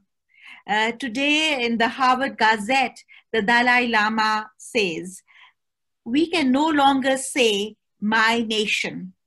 We should say my planet. And this is the interdependence that Fernando Reimers was speaking about earlier. We are living in an increasingly interdependent world. We cannot, and this is what Romina was just mentioning, that we cannot have education in parallel uh, without the other systemic changes of institutions and our communities. So we have to, um, uh, you know, uh, think of our planet, uh, not just our nations. Uh, and um, uh, thank you very much for being part of this dialogue today, informed dialogue based on evidence and our within the context of the Caribbean. And we look forward to our continued um, discussions. I, I, take this opportunity to share with all our uh, participants and panelists. We have two more discussions on the futures of education. The next one is next Tuesday and then the following Tuesday. And uh, uh, my colleague, uh, my colleagues are sharing the links um, uh, in the chat for uh, you can register for the futures of education discussions for the in the Caribbean region. So we have a quartet of four discussions. Today we had our second one on citizenship education. We'll look at uh, work and employability and then governance issues. And, um, and, we, and we hope that these key messages from this dialogue will then inform the global uh, policy at UNESCO, but also uh, in our member states, and also inform the work, uh, the important work that the International Commission on the Futures of Education is doing. So we thank our colleagues in Paris, so, uh, Vil, uh, our director for the Futures of Education program, and our colleague uh, Noha um, uh, for supporting us and enabling us to have these dialogues within the Caribbean context. So thank you all. Um, and, and thank you everyone, um, uh, because without uh, us working together, we cannot move forward. So my, with, with these words, I, I thank you all and I hope to be in touch as we move forward.